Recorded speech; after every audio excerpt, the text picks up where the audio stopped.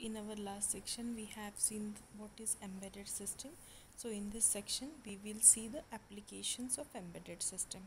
So nearly 99% of the processors manufactured end up in embedded system because embedded system is widely used in our daily life. Also maximum things that we are using are nothing but the embedded system so uh, starting with the first application is the consumer appliances or consumer electronics. So at home we use a number of embedded systems that are nothing but digital camera microwave oven digital diary dvd air conditioner high tech car which is almost having each and every navigation AC as the transmission control wrist watches palm tops which are used for playing games and all so everything these are nothing but the various embedded system applications which we used to do used to access in our daily life. So as our definition is that embedded system is mainly responsible to do the specific job. So we can see these examples and these examples are doing what? They are doing nothing but the particular specific application. They are doing specific job next is the office automation. So the office automation products they are nothing but the embedded systems are the fax machines modem printer scanner. These are the applications of embedded system as the office automation. Next is industrial automation. Now we know that industry has been grown at a highest level and manual work is replaced by the automation so industries uses embedded system for controlling such as pharmaceutical nuclear energy, electricity generation and transmission.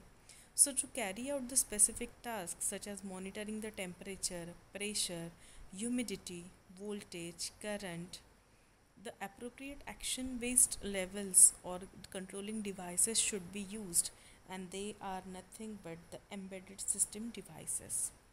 Now the next application is medical electronics. In medical electronics there are various devices by using which the diagnosis has been done nowadays like ECG machine, blood pressure measurement machine, then the uh, radiation endoscopy. For accurate diagnosis of disease there are various medical electronics that has been used which are nothing but the application of embedded system. The another application area is computer networking. So in computer networking, the embedded system applications are products. They are nothing but bridge, router, ISDN, ATM, X25, frame relay switches, which implements the data communication protocol.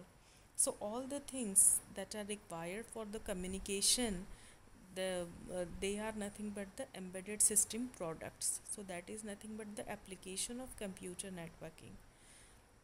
Now talking about the telecommunication. So in telecommunication the embedded system can be categorized as subscriber terminal and network equipment like key telephone isdn phone adapters web cameras are the various applications as well as multiplexers multiple access system, packet assembler, deassembler, phone, gateway. That are nothing but the various devices which are available at low cost and by using which we can have the voice communication over the internet.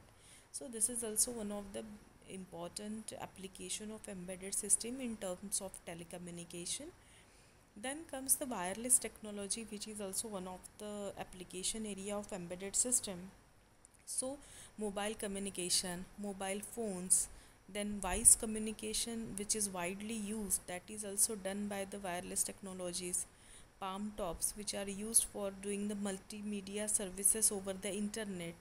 Base station controllers switching centers which are powerful embedded systems that are nothing but the applications of the embedded system in terms of wireless technologies now the next comes is the instrumentation which is also the daily life parts in industry as well as daily life.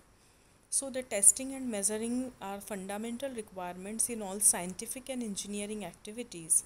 So we can use the systems in the laboratories to measure the parameters such as weight temperature pressure humidity voltage current etc all these parameters can be measured by using the devices like the equipment such as oscilloscope spectrum analyzer logic analyzer test set test soil kits etc the next one is security. Now security is the important part of our daily life in at our home as well as at our working places.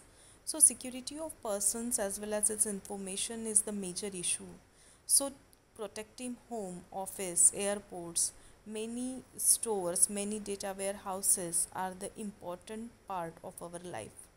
So the biometric system using fingerprint face recognition systems digital locker everything is nothing but the embedded system application in terms of security.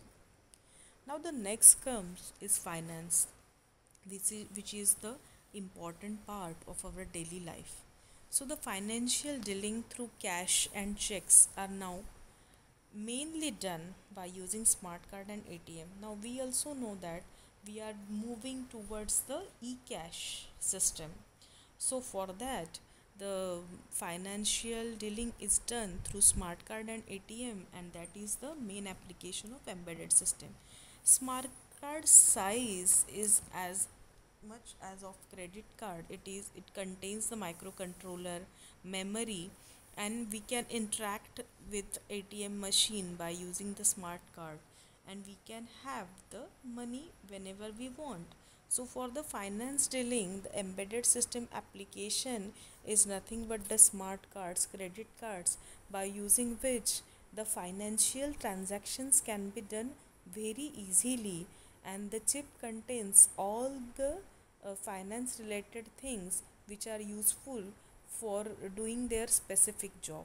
So this is also one of the application of embedded system in terms of finance.